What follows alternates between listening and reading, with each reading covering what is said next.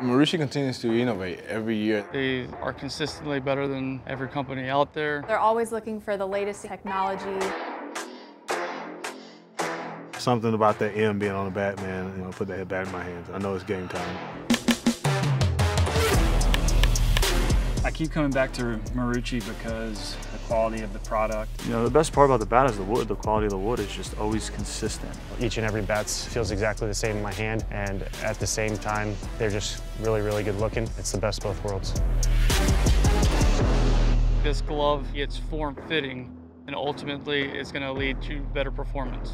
Everything I've ever had with this glove has always been dependable. I'll hear guys all the time complaining, you know, this bat wasn't that good or this bat isn't that good. I never really had that problem because it's just been so consistent.